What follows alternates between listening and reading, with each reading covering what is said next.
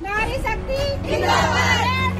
शक्ति सो शक्ति सो जिंदाबाद। जिंदाबाद। पूरी करो। पूरी करो। पहले धौलपुर में गहलोत का नाम लेकर मातम मनाकर महिलाओं का अनोखा प्रदर्शन देखा और अब सीकर में महिलाओं ने डोटासरा के घर को घेरा। जी हाँ राजस्थान में पिछले कई दिनों से एएनएम महिला वर्कर अपनी मांगों को लेकर धरना प्रदर्शन कर रही है।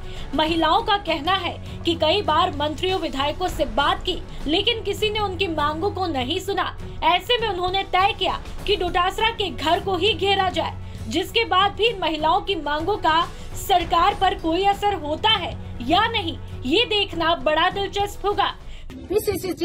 और लक्ष्मणगढ़ विधायक गोविंद सिंह जी डोटासरा के आवास का घेराव किया और सभी एलएचयू और एएनएम ने वहाँ आकर के उनको ज्ञापन दिया है हमारी मांगों को सरकार तक पहुँचाने के लिए। राजस्थान में महिला नर्सिंग कर्मचारी अपनी तीन सूत्री मांगों को लेकर एक मई से धरना प्रदर्शन कर रही है। महिलाओं ने विरोध प्रदर्शन के कई तरीके अख्तियार किए। कभी भजन गाकर कभी हवन यज्ञ करके हनुमान चालीसा का पाठ किया लेकिन सब कुछ मानो भैंस के आगे बीन बजाने जैसा हुआ। सरकार के कानों में जू तक नहीं रेंग रही है। तो वहीं महिला नर्सिंग कर्मचारियों का कहना है कि अगर सरकार हमारी नहीं सुनेगी तो आगे उग्र आंदोलन किया जाएगा।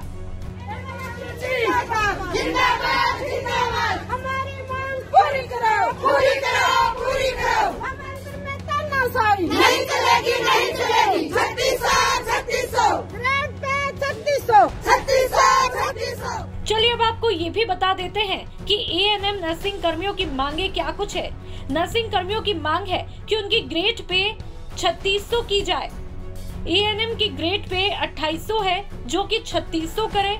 एलएचवी की 3600 से 4200 और 4800 से 5200 करने। L H LHV ANM nursing संवर्ग का पदनाम बदलने।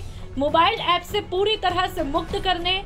अध्ययन अवकाश दो से तीन साल करने जैसी कई मांगे हैं।